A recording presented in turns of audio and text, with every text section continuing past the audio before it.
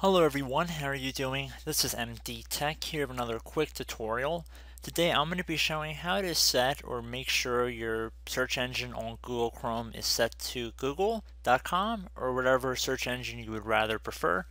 So this tutorial would be geared towards people that might have had their search engine changed by unwanted applications or toolbars or add-ons or extensions or anything of the like.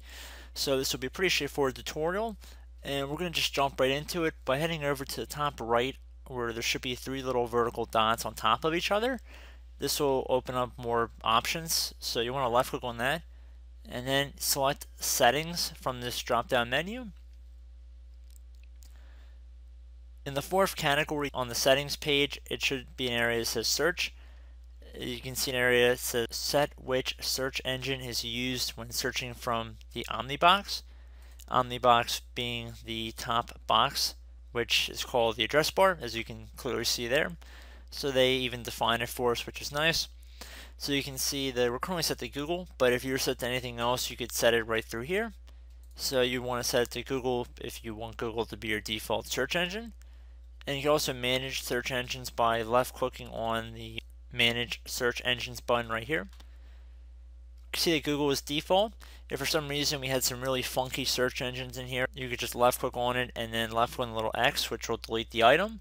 We see Google does provide a few different options for us as a user without going through too many hoops. But Google should be the default option here. If for some reason your Google homepage has been messed up as well, you could always copy the Google URL and then if you go underneath on startup, open a specific page or set of pages, so select this option, and then left click on set pages. You can enter the Google URL right here, so just paste it in and then hit enter. I already created one earlier, that's why there were two Googles in here. But at that point, you can click on OK.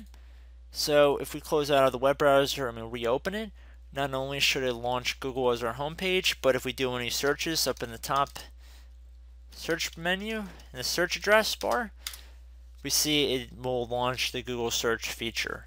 So I hope this brief tutorial helped you guys out and I will catch you in the next video. Goodbye.